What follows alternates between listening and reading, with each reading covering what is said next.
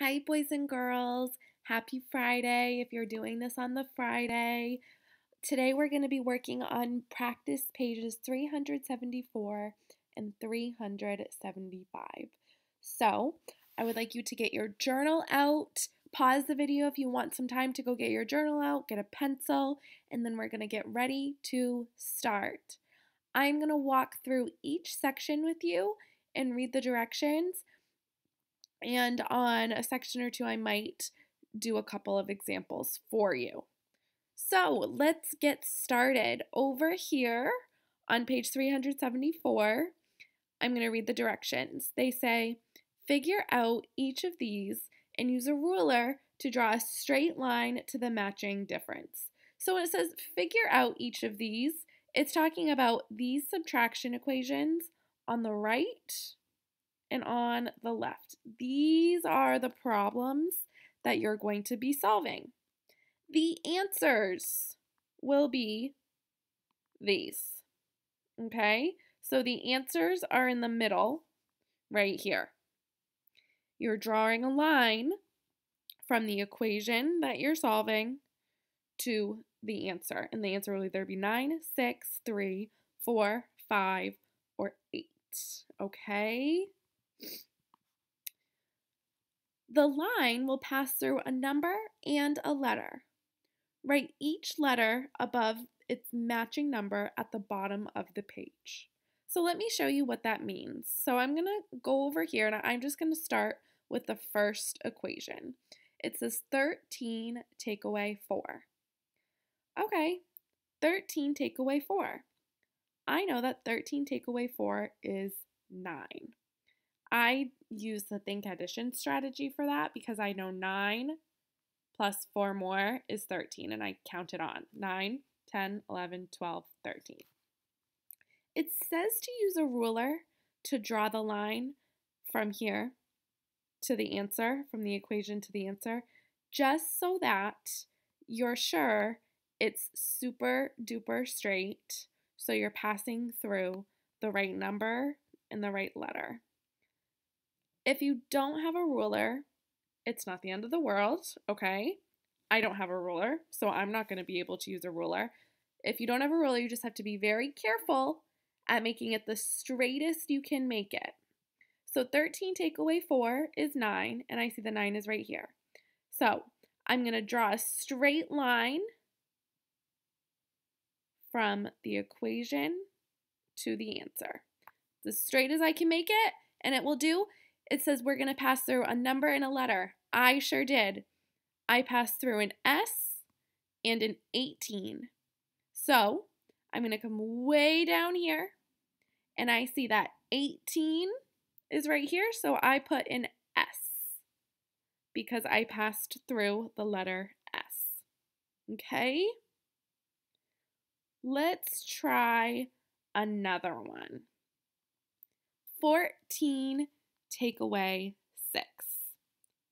So, I'll tell you how I did this. I know that 14 take away 7 is 7. So if I'm taking away 6, the answer must be 1 more than 7 because 6 is 1 less than 7. So I know the answer must be 8. Okay? You can solve it however you want to solve it. That's just how I solved it. So this one is one where I'm going to have to be super careful because the 8 is way down here and my equation is way up here. So I have to make this as straight as I can make it. Even actually, if you don't have a ruler, but you have like a straight piece of paper or anything that you can use to make it straight, you can use that too. But here I go.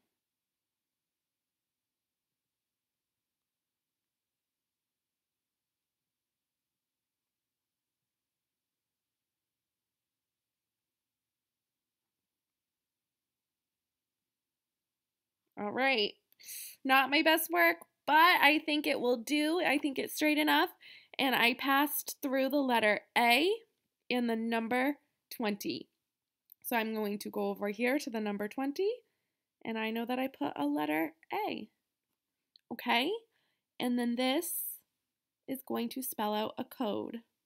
And our little cat friend says that the differences can be used more than once. There's only six answers here, and we have 16 equations, so they definitely will be used more than once. Okay? All right. Now I'm going to go over here. Ongoing practice number one. It says draw jumps to show how you would figure out the total. Then write the total. I'm crossing out where it says draw jumps. You don't have to draw jumps. If you want to, you definitely can, but you can use whatever strategy you want to use to add 28 and 437. Okay? Maybe you want to use blocks. Maybe you want to write out the equation vertically, like we do with subtraction. Maybe you want to add 437 plus 20, and then 400, and then that answer, so which would be 457, plus 8, so adding your 10s, and then your 1s. However you want to do it, go is fine with me. Then number two, it says count back to figure out the difference. Draw jumps to show your thinking. So in number one, we're adding, and in the next two, we are subtracting, which is something we've been doing more recently, so we probably remember how to do it better. Again, whatever strategy you want to use works for me.